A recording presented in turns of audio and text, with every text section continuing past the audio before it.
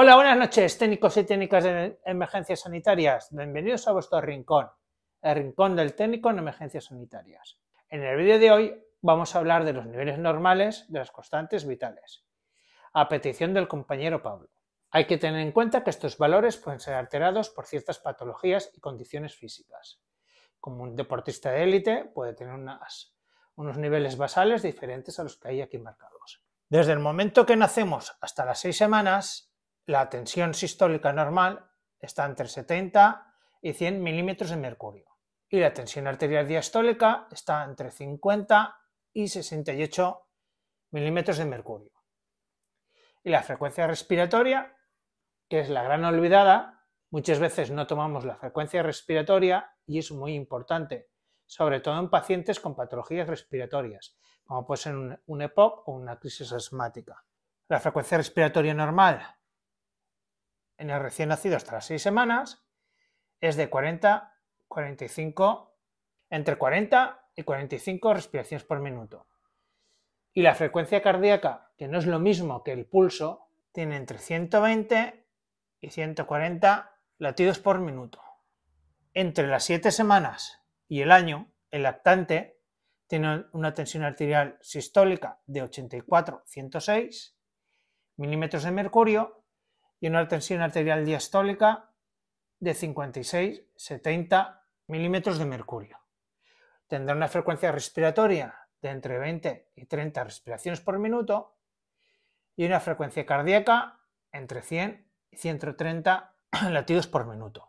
El lactante entre un año y dos años, o también conocido como lactante mayor, tiene una tensión arterial sistólica de entre 98 y 106 milímetros de mercurio y una tensión diastólica entre 58 y 70 milímetros de mercurio.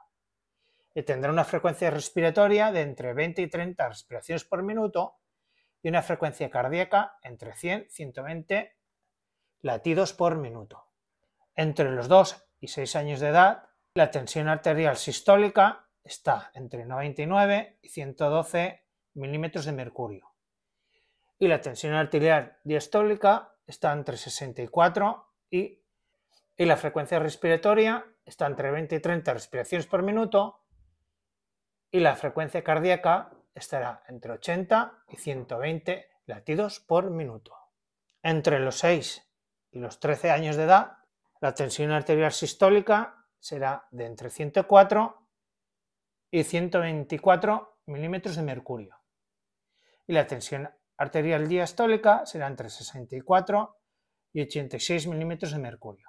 La frecuencia respiratoria estará entre 12 y 20 respiraciones por minuto y la frecuencia cardíaca estará entre 80 a 100 latidos por minuto. En el adolescente, entre 13 y 16 años, la tensión arterial sistólica será de 118 130 a 132 milímetros de mercurio.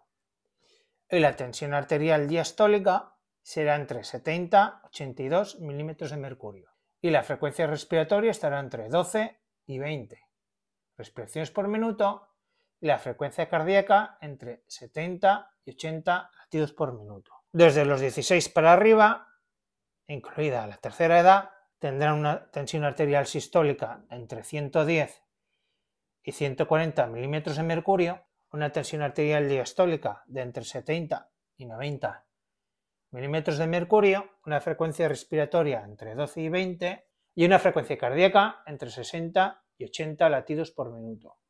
Como ya he dicho, esto puede ser alterado por patologías, condiciones físicas y morfológicas del cuerpo humano, como una persona que haga un deporte de élite, una persona con enfermedad pulmonar, etc.